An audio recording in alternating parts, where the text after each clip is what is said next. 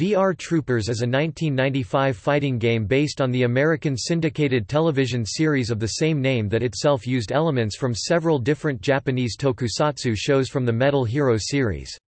The fighting game was developed by Syrox Developments and published by Sega. The game was released on Sega Mega Drive, and the Sega Game Gear. A release for the Super Nintendo was planned but got cancelled.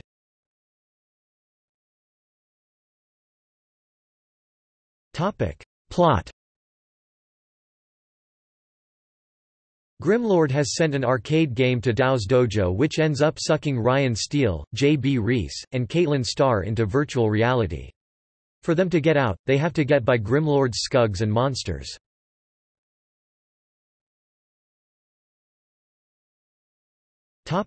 Gameplay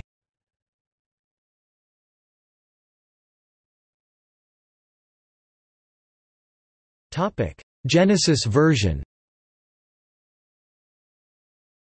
The player has three modes to choose from. Story game, versus battle, and CPU duel. Story game is a mode where the player can choose from any one of the three VR troopers to face off against the evil leader Grimlord's mutants and cyborgs and eventually Grimlord. Versus battle is a two-player mode where a player and a friend can face off against each other.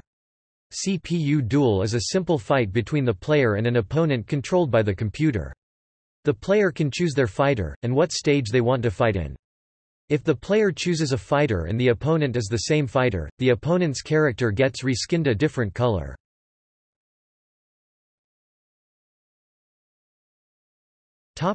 Game Gear version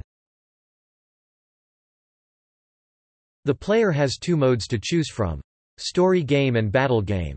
Story game is a mode where the player can choose from any one of the three VR troopers to face off against the evil leader Grimlord's mutants and cyborgs. Battle game is a ladder-type fighting game mode where you can choose from eight different characters to beat a certain number of enemies and win the game. The player must face a ninth character original to the game called Chameleon who can shapeshift to any other character.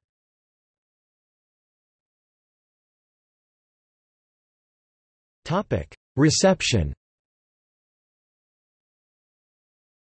Next Generation reviewed the Genesis version of the game, rating it 1 star out of 5, and stated that this game is exceptionally generic with some real simplistic fighting good for kids, though and nothing that makes it worth owning unless you're a huge fan of the show.